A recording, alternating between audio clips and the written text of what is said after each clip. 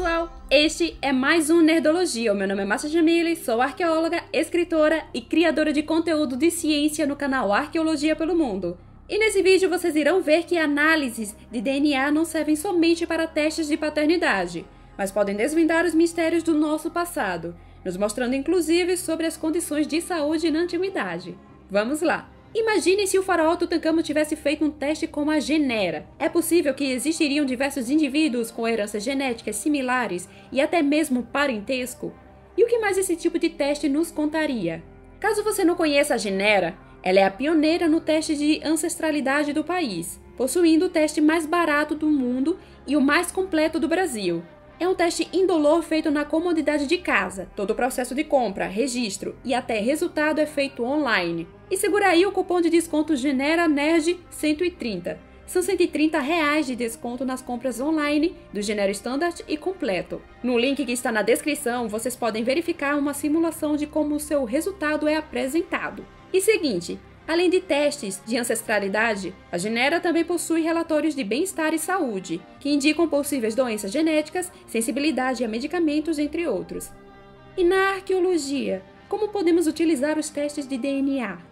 Em Assassin's Creed, uma franquia de jogos que possui como plano de fundo ambientações históricas, temos uma máquina chamada Animus, que é capaz de acessar memórias genéticas presentes no DNA das pessoas e assim procurar por seu passado. Não possuímos um Animus, e nem a possibilidade de acessar uma memória genética, como Attila já explicou aqui no Nerdologia.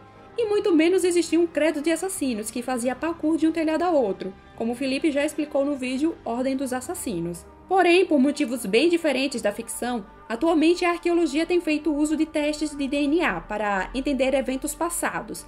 Um dos casos mais famosos e controversos é o da múmia do faraó Tutankhamon, que foi encontrada em 1922 pelo arqueólogo Howard Carter no Vale dos Reis. Ele ainda permanecia em sua tumba, que estava praticamente intacta, e existe muita curiosidade sobre a vida de Tutankhamon.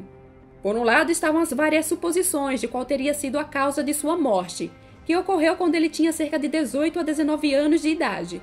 Do outro está o desconhecimento da identidade de seus pais, o motivo de tanto interesse é porque Tutankhamon viveu há cerca de 3.300 anos, assumindo o trono com 8 ou 9 anos de idade, durante o que chamamos de Novo Império, e fez parte de uma das casas reais mais poderosas do Egito Antigo, a 18ª dinastia. Ele assumiu o trono anos depois do faraó Akhenaton, que é considerado um dos mais infames reis do Egito, porque ele, juntamente com sua esposa Nefertiti, mudou a capital do país de Tebas para a recém-criada cidade de Aquetaton, em bom português, Horizonte de Atom. Foi lá onde os dois se dedicaram ao culto a uma única divindade, o deus Sol Atom, enquanto deixava de lado as centenas de outros deuses do país. Mas apesar dessa época possuir figuras históricas tão notáveis, sabemos pouco sobre os desdobramentos desse período, e principalmente sobre Tutankhamon. E foi pensando nisso que entre os anos de 2007 e 2009, o arqueólogo Zahi Hawass montou duas equipes distintas para coletar e estudar o DNA de 11 múmias da realeza egípcia da 18ª dinastia, na esperança de que fosse identificado algum parentesco entre elas. Mas a proposta foi recebida com muitas dúvidas, já que na época era visto como improvável que fosse possível extrair DNA suficiente de corpos tão antigos e que passaram por um processo de mumificação agressivo como a egípcia. A múmia central do projeto foi justamente a de Tutankhamon, que é uma das poucas que se tem certeza de sua identidade, já que foi encontrada lacrada dentro de sua própria tumba. Também fez parte do grupo as múmias de dois bebês sem identificação que foram sepultados com ele. Foram unidas à turma a múmia do faraó Amenhotep III, que era pai de Akhenaton, e o casal Yuya e Tuyo, respectivamente pai e mãe da rainha Ti, cuja múmia estava desaparecida. Ela era a esposa de Amenhotep III e a mãe de Akhenaton.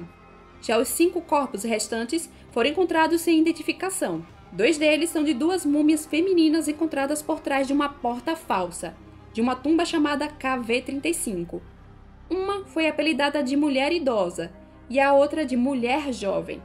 Os outros dois corpos são de múmias femininas que foram encontradas em pedaços, destruídas por antigos exploradores na tumba KV-21. E o último é o esqueleto de um homem que foi encontrado na KV-55, dentro de um sarcófago com o nome do dono raspado, quase ao estilo do personagem Hotep em A Múmia.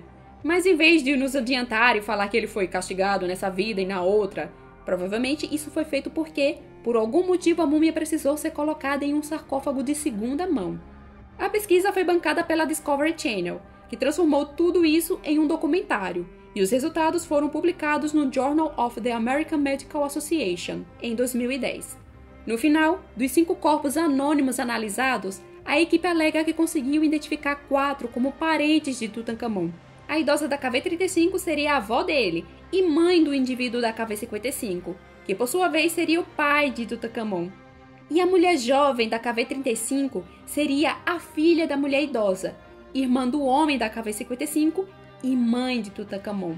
Já os dois bebês, confirmados como meninas, e as duas múmias da KV-21 passaram por problemas, já que o material genético testado não deu um resultado conclusivo devido ao grau de degradação dos corpos. A equipe só conseguiu atestar um dos bebês como filha de Tutankhamon. A outra não teve material genético suficiente para ser testado. E uma das múmias da KV-21 apresentou um resultado que pode talvez apontá-la como irmã de Tutankhamon e a mãe do bebê. Infelizmente, os testes genéticos só podem apontar a direção e não dão nomes. Logo, alguns egiptólogos começaram a assumir que o homem da KV-55 seria Akhenaton e a mulher idosa seria Ti, e uma das múmias da KV-21 seria a esposa de Tutankhamon, a Ankh-Senamo, que está retratada nessa imagem. Este é um assunto que está em aberto. Então, qual seria a importância de se saber quem eram os parentes de Tutankhamon, um rei que viveu há mais de 3 mil anos? Como explica o egiptólogo José Ramon Pérez Assino em seu artigo Primeiros Corpos, Primeiras Tumbas, em torno das origens do Vale dos Reis, estudar múmias antigas e buscar por seus parentescos não é pura curiosidade fútil, já que além de identificar familiares, os estudos de suas heranças genéticas são uma fonte de conhecimento para a compreensão de distúrbios hereditários e doenças infecciosas.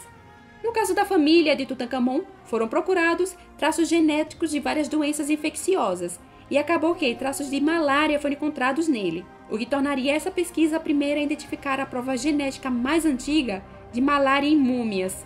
Agora, foi a malária o que causou a morte de Tutankhamon? Isso não sabemos. Na verdade, apesar de todas as pesquisas, sobre Tutankhamon ainda temos mais perguntas do que respostas. No meu vídeo passado, Vinícius Siqueira pediu para que eu fizesse uma nerdologia sobre achados arqueológicos do Brasil. Vai rolar sim, já tenho alguns temas na minha lista, então aguardem. Já a Flora Braga falou sobre o uso de satélites na busca por sítios arqueológicos na Amazônia, e que é um trabalho incrível. E eu gostaria de complementar que, inclusive, imagens de satélites permitiram a descoberta de destruição de sítios arqueológicos daqui do Brasil. Falei até disso no meu vídeo do Arqueologia pelo Mundo, Geoglifo milenar do Acre destruído em dias. E se você gostou desse vídeo, deixa seu curtir e compartilhe com os seus amigos. E se inscreva aqui no canal para conhecer mais curiosidades do nosso passado. Lembrando que em um vídeo tão curto é difícil comentar todos os detalhes da pesquisa. Então, caso tenham curiosidade, todas as fontes consultadas estão na descrição. Vou ficando por aqui e até mais!